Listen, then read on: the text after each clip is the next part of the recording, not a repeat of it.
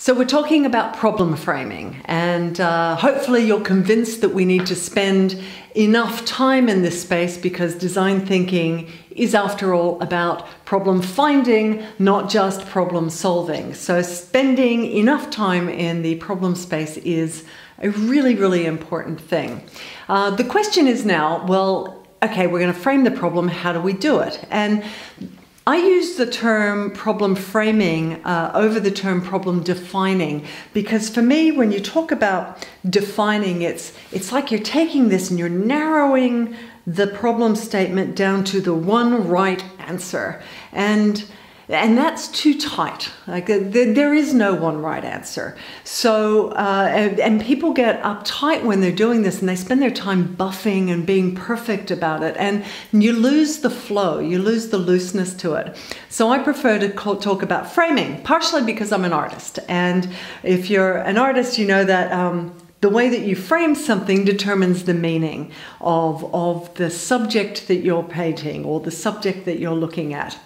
So what does a frame do? So if you if you put your hands up like this, uh, finger to thumb, and you form a frame, you can see that by looking through it, say maybe look at something on your desk, you can see that by looking through it, you can look at an object and then move your hands back and forth or left and right, and you will, you probably just get it also if I do this, like that could be my eye, that's my face, and you can see that while the subject doesn't change, the way that you see it does.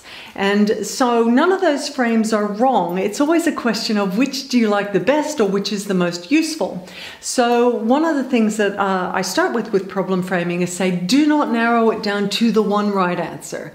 Start off by keeping it loose and coming up with as many as you can, say at least 10 at least 10 ways of framing it. And and play around with it so that you can feel your way around the problem space. And remember that even when you've chosen one to work on when you go off and and come up with ideas or start prototyping and testing you're going to get more information which means you might need to come back and sanity check the way you framed it and possibly reframe it at that point which is fine.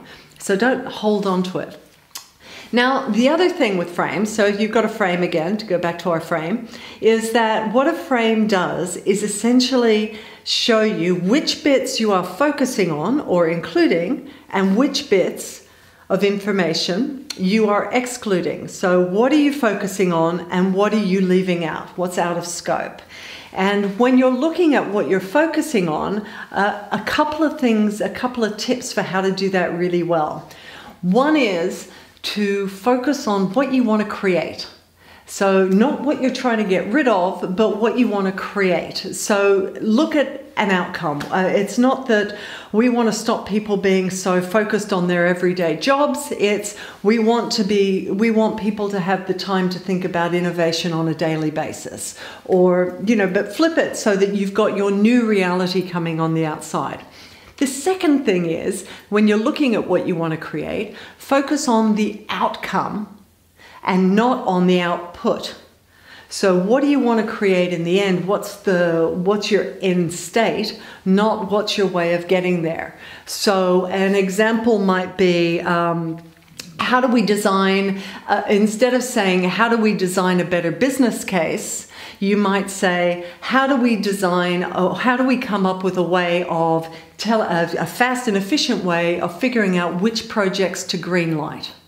So you're not focused on the artifact, you're focused on the end state. Or instead of saying, how do we ensure that our school gets better marks uh, on the standardized testing, you might say, well, how do we design the school so that it becomes a place where people where the kids thrive on learning?